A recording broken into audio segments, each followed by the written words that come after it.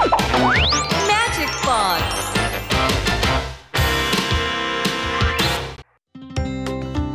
我说你呀，是不是在放暑假？哎呀，是在打电动还是念英文嘞？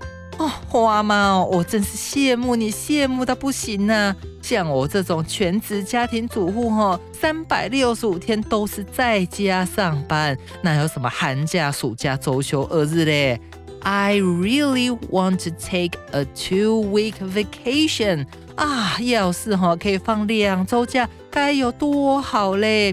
我哈就要去垦丁潜水，还要拍美照。哎呦！我哈自己其实是觉得我很有当完美的潜力哦，到时候记得要追踪花妈的 IG 哦，啾咪。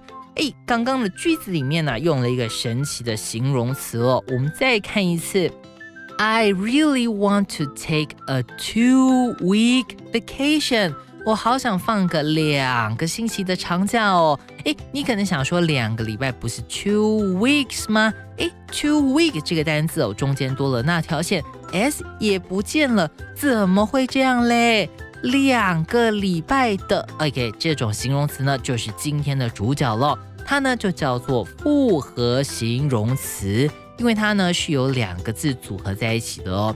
这种形容词哦有非常多种变化，很多不同的组合方式。它可以是形容词加上动名词，比方说啊，good looking，很好看的，He is a good looking guy。花妈哦，最近在看我们重击欧巴，哎呀，他真好看，good looking，长得很帅。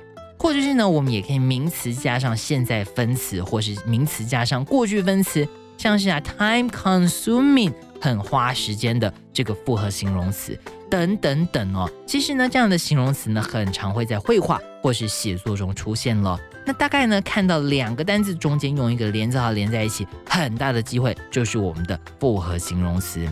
那我们今天呢，要教给大家最好用、最常见的一种就好，那呢就是数字加上名词的复合形容词。我们呢直接实战练习一下了，要怎么把一般的数字加上名词改成复合形容词了。比方说啊，有人问我贵庚，问我几岁，哎呀，怎么问熟女这种问题呢？没有礼貌。不过我看在我们的交情的份上哈，我今天就偷偷跟你说，I am forty years。old，注意到呢，四十岁有 forty years old。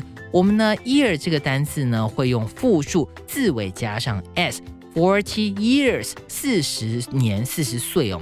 但是呢，当我们要把它变成形容词的时候呢，我们就在中间加上一个 forty year old。注意到了吗？我们的 year 变成单数了，就像刚刚前面说的 two weeks 也变成 two week。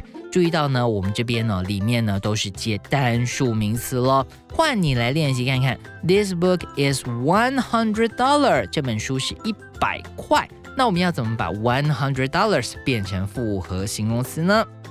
没有错啦，就是 one hundred dollar。This is a one hundred dollar book。这是一本一百块的书。复合形容词啊，就是这么简单，一点都不难的啦。